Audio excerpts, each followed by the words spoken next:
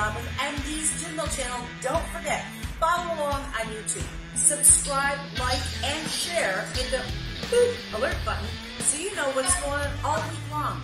Follow us on Instagram and please like and follow us on Facebook. You're going to get all sorts of cool content and bonus videos. Cheers, guys. Hi, everybody, and welcome to our virtual happy hour here at MD's Mill channel. Welcome in 2022. What are you guys drinking? Are you drinking? Can you even drink today? Let me know. Let me know what's going on with you. Let's have a little virtual happy hour fun. Let's bring in Miss Judy Gannon and see what's going on with her. Hi. Hi, Judy. Happy Happy New Year. Yeah, you too. It's it's 22. It is 2022. My goodness. Unbelievable. We made it. Let's you- let's all cross our fingers. It's going to be way better. Now, here's the real question Are you drinking? No. I have a Red Bull. I'm not sure who can handle that today.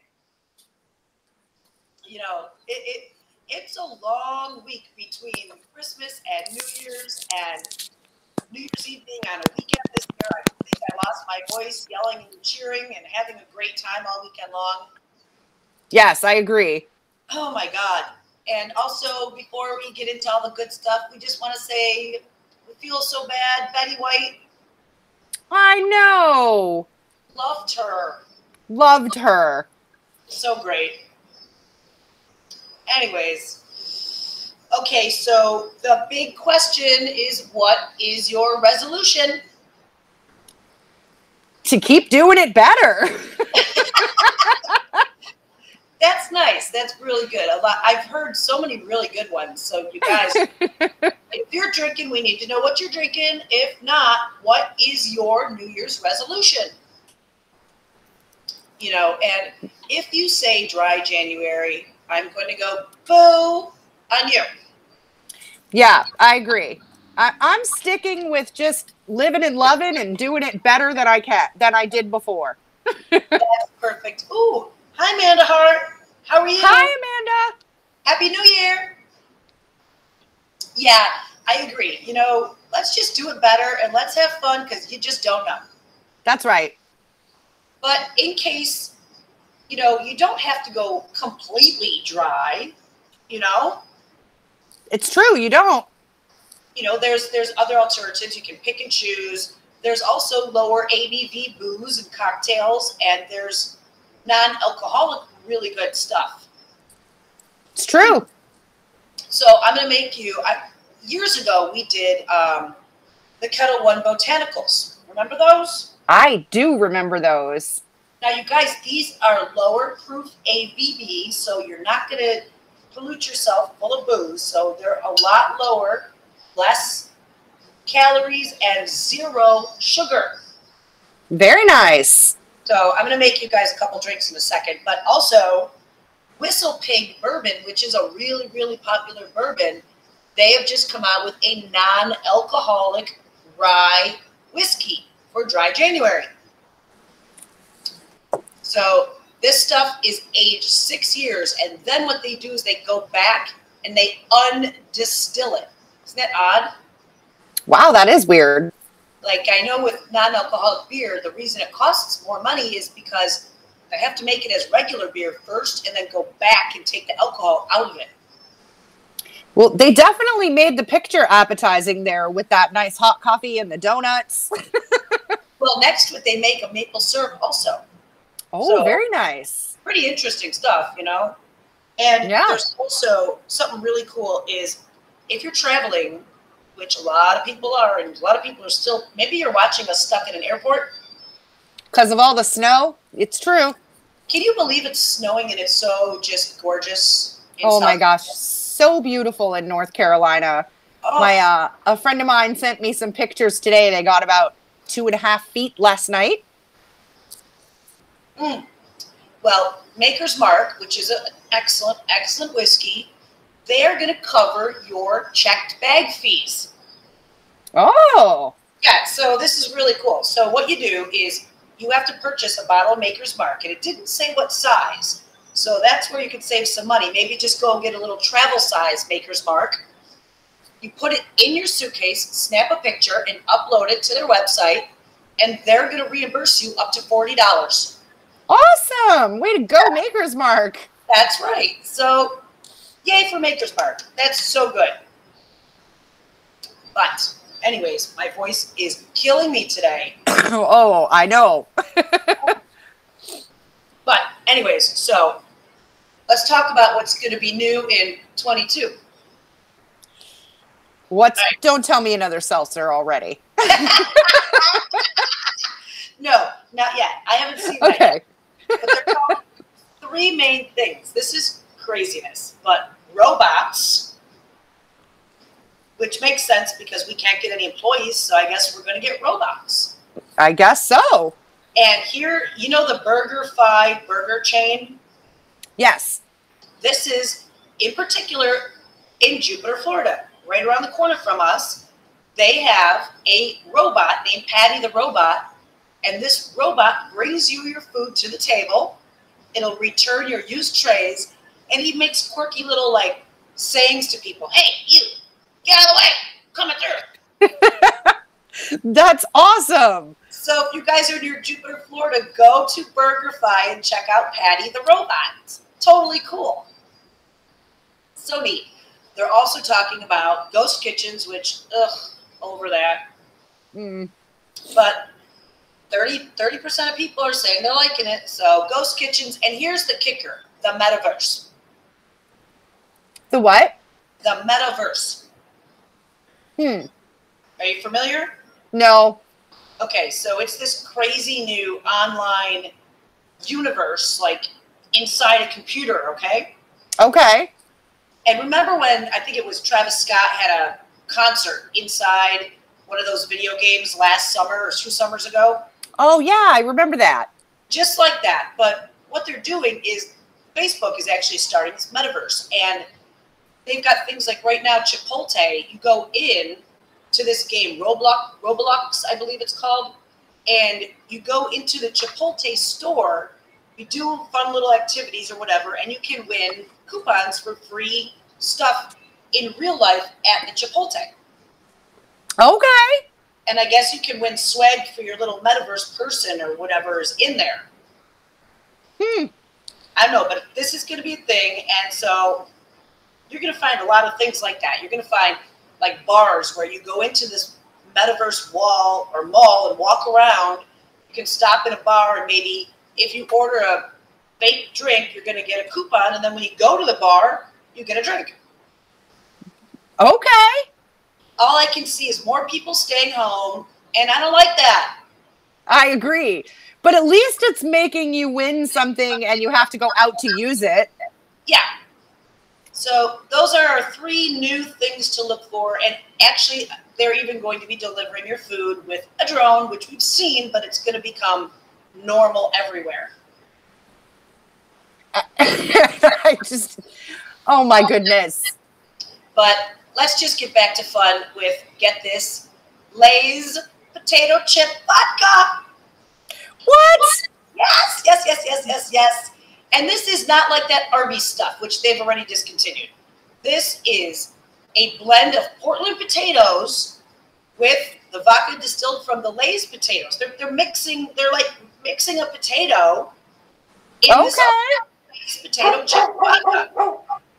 It's so good. And you can only get it online. Now listen up. Shop.eastside potatovodka.com. Excuse me, I can't read my writing. And they're only making 1,300 bottles and they're $40 a piece. So go get your potato chip vodka. It's super cool. And you know the new creative director of Playboy magazine, No. Miss Cardi B. Really? Isn't that crazy? That's crazy. she has now just launched her Cardi B vodka infused whipped cream. Oh. She's got some flavors here. There's caramel, chocolate, mocha. vanilla, strawberry, and it's vodka infused, and it's got some kick to it. They look know. pretty. It'll go good in the Playboy magazine, right? Yeah, for sure. It would have went really good on my pudding shots. Oh, yes, yes, definitely. So, okay, let's try this out. I know I've made you in the past these drinks. Personally, I've made Judy these drinks. She liked them a lot. I did. But these are going to be a little bit different because I'm over soda water for a while. It's just, it's so overused, you know? Okay. I mean, I know you don't like soda water at all, do you? No, I don't. Ooh. Jesus, how are you, Jesus? Great for the Super Bowl. You're right. Okay. So again, we're using a nice stemware just because we can. And it's fun. Oh, you guys, while I make this drink, let me tell you something. I always talk about my mom on the show, and guess what? She's driving down here tomorrow. So next Monday, I'm getting her on the show. Oh, we have to have her make a drink. We do. It's so easy, my mom can make it. That's right. It's right. right in front of you guys. All right, so this is the Ketel One Botanicals Grapefruit and Rose Vodka, and it smells amazing. It really So, use as much as you want. No rules in 22, everybody. No rules. Okay, so instead of using a soda water, what I was thinking is I am going to use grapefruit with the grapefruit and rose, okay? That sounds good. I know. Why not? And grapefruit metabolizes and breaks down all that bad stuff in you. And you can use some fresh sprigs from your garden if you're lucky enough to still have a garden going. I've got some rosemary here. Sticking some rosemary in, and I'm going to throw in a basil. A nice little, Mm. always smack it. Smack it, ladies and gentlemen. Okay, ready? Stick that bad boy in there. And let's just try this out. It's pretty, isn't it? Very pretty. Okay. It smells so flavorful. Oh my God. It's great. You could maybe top it with a little 7 Up. I know you'd like that a little bit more, Judy, but I like it's very sour and very um, puckery. Nice. But it smells so good. And that's half the flavors. When it's going up your nose, the smell hits your taste buds first. That's excellent. Okay, we're gonna set that aside. And let's, I've been dying to try this one. This one is cucumber and mint. Okay? Ooh. I've had that one. You made me a fancy martini with it. Yes. Okay. Cucumber mint. And then we're using pineapple juice. Okay. And not to be anything, but you know what they say about pineapple juice? Just saying. That's all oh, I'm going to say. Some fresh, That's it. Gonna drop some fresh mint right in here on top of that for you. And that's it. Gonna take a little cucumber garnish. And look at that. It even looks, it's just so pretty. Look at that. Oh my God. It is pretty. Let's just give it a little sip and see which one I like better. Oh my God. Ooh, okay. So this one is to die for. This one's excellent. This one is very, very good, but it's very floral. Okay. So I'm not sure. Harry's going to smack me if I drink too many of those. They look so. they are delicious. They are. The pineapple one is very floral. Yes. Well, no, no. Yeah, we use the pineapple with. No, we use the grapefruit with the grapefruit rose. That Yes. floral, but the pineapple with the mint, it works. It's very, very good. Nice. I like it a lot better. Maybe because I like I like mint.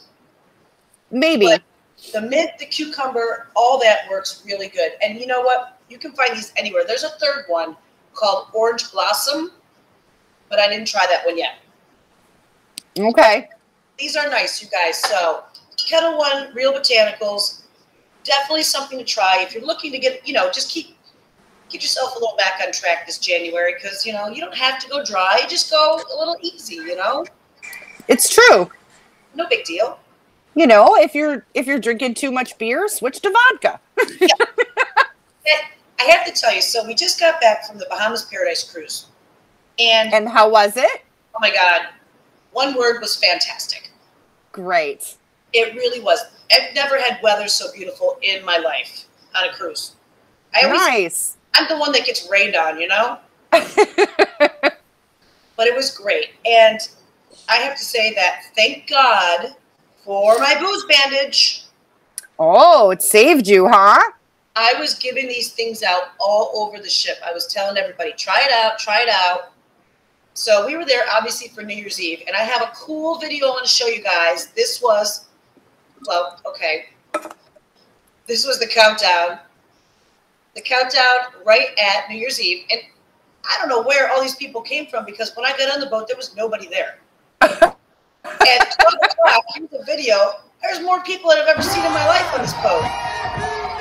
Wow.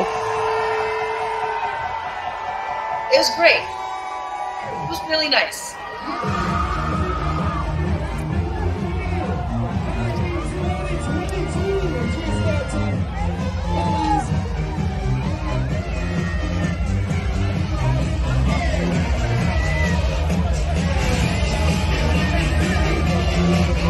Oh, I see Lala and Izzy kissing. I know. it was it was really you know, you had to wear a mask. You had to wear a mask. So they, you know, I, I think just at this particular moment there wasn't a lot of social distancing. Okay. It gets scary, but you know, but thank God for the booze bandage. And you know, last week I told you guys that there was a champagne shortage. Nah. Not at all. you should see the amount of champagne that this place had busted open for. I, I, I couldn't believe it. That's great. Absolutely unbelievable. There's definitely not a champagne shortage, at least not in West Palm Beach, Florida. But it was fun. It was really nice. Um, they are converting the Bahamas Paradise Cruise Line to Margaritaville at sea. That's going to be fun. and that's going to happen April 1st. So a lot of the staff was leaving, and they're going to be back. Our amazing server Errol from Jamaica, he was leaving. He'll be back April 1st for the new boat. They're Okay. putting new floors. They're doing all new walls, and the staterooms will be all done differently. They're going to have the Jimmy Buffett, um, the burger places that he's got on the boat. Nice. Dom Perignon for sure. No, they, they were pouring Don, but you know, it was good. There was a lot of champagne. Oh, there's me, my New Year's Eve dress. That was fun. Very nice. Look at that sick amounts of champagne. Those were just empty bottles. I know. I know. Crazy. And there's a little social distancing of the group I was with. That was cool. Good. So that was very good. And here's me in the Bahamas. And this is the sad part. That is Rum Runners Bar and Grill, which a friend of mine owns in Freeport in Grand Lucaya. And it was closed. Aww. And I was so sad. They did tell me that it does reopen when ships come into port, but I mean, we were on a ship in port and it wasn't open. And it wasn't open. I'm confused. Everything was pretty closed, and you know, my feelings go out to the people over in the Bahamas because they just keep getting smacked by these hurricanes and all that. yeah. But you know, it's great. And again, like I said, thank God for the booze bandage. This thing works. I, I, I don't have any problem telling you how good this is. Unbelievable. But I'll tell you what. Wow, that's what I was called. So yeah, I'm telling you, that was celebrating. It was insane. It was beautiful. Food was excellent. Like I said, our servers were great, and I can't wait to go back for the new ship. So thank you to the Bahamas Paradise Cruise Line for having us.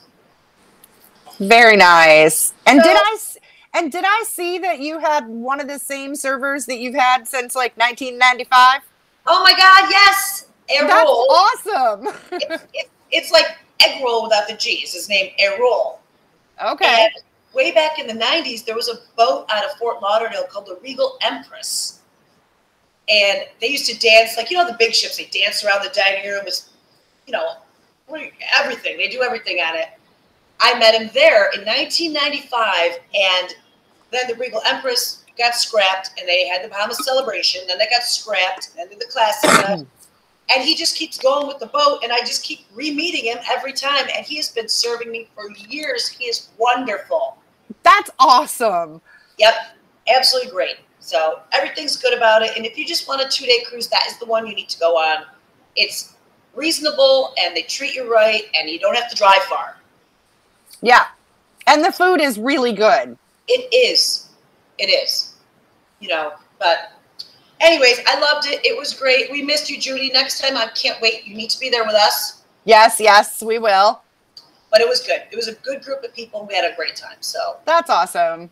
So that's really all for today. But I just wanted to uh, give some acknowledgement. One of our sponsors, Exchange of America, which is a currency exchange company. You guys, if you're starting to travel, I know this COVID stuff's going crazy, but if you're starting to travel, it is so easy and convenient. All you do is go online, exchangeofamerica.com, or any of their social media platforms. They're on them all. You order your currency. It's dropped in the mail that day. They process your order that day. They mail it out. You could probably have it in a day or two at the longest. And it's the only currency exchange company doing that in all of America. Very cool. It is. It's great. And they happen to be local here in South Florida. So, like I said, Exchange of America, and thank you to Booze Bandage for supplying us with hangover relief from a crazy week. Thank you. KG Pro Renovations, thank you. Inkhead Graphics, thank you for great shirts, bogies and stogies, and the Mill Fort Pierce, of course. Thank you to everybody, and thank you to Judy. You guys, there's a QR code right here. All the information is right there. You can just take a snap right there, and you know exactly what's going on. But until further next week, Judy, when we get my ma here, thank you and cheers. Bye bye. Cheers.